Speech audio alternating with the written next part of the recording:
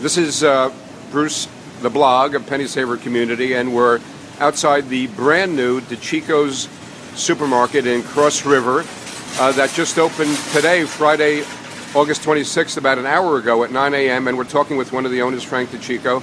Uh, uh, Frank, how many stores now does DeCicco's have? Uh, the Cross River location now makes our eighth location. Um, we have six in Westchester, one in Rockland, and one in Putnam. And so, uh, obviously, you're doing well. Congratulations on the opening and on that. Uh, is there anything different about this location uh, from the other ones? Uh, well, we try to cater every location to the community. Um, we look for local products. People are familiar with local produce, uh, local cheeses, local beers. So we try to feel out the area, see what's available, and take in those products.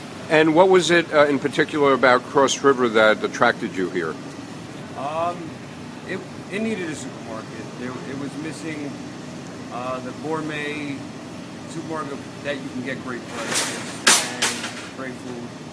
We uh, scoped out the area, we did our research, and we were very happy and lucky to get this store, and hopefully it'll, it'll work for the community. And this had, of course, been a, a supermarket before. How long had it been closed? Uh, we took over at the end of June, so we were closed about two months. Right.